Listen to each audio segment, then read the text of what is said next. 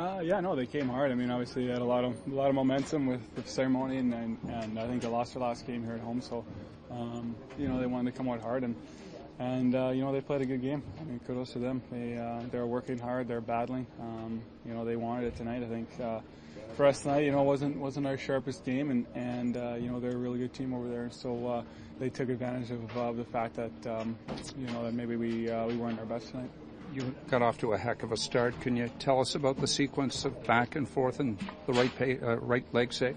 Yeah, no, I've, I have no, I mean, no idea. I mean, it's just uh, um, something your instincts just tell you. And, and uh, you know, I was lucky enough to keep the puck out uh, out of the net for a couple of times there, but um, eventually they broke through. So, um, you know, it's fun to make those saves and and uh, and do that. But at the same time, I mean, um, you know, I wish wish I could have kept it a little closer.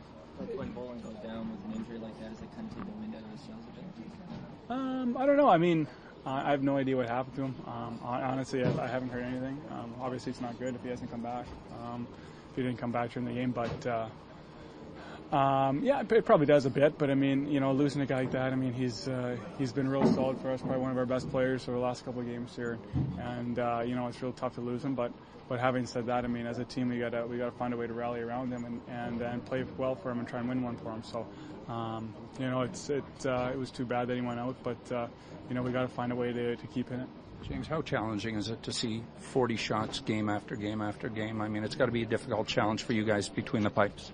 Uh, yeah, I mean, I think, I mean, we've talked about it, and I'm sure probably you guys talked about it too. You don't want to be giving up 40 plus or, or even 35 plus, but, but um, you know, sometimes that happens. I mean, I think you go through spells in the season where where teams just get uh, lots of shots, things aren't working, and, and other things are, and and uh, you know, right now, you know, we're allowing a few shots, but I mean, um, I don't think it's too alarming. It's obviously something you can correct, and so um, you know, when when that's going on, you as goaltenders, you just have to, to stay in there and, and, give them a chance and try and keep it close as long as possible. So, um, you know, and for, fortunately tonight, I mean, um, kind of they went up three rep a little a little too soon. I mean, um, you know, I wish I could have kept it a little closer for a little longer, but um, you know, sometimes that's just the way it goes.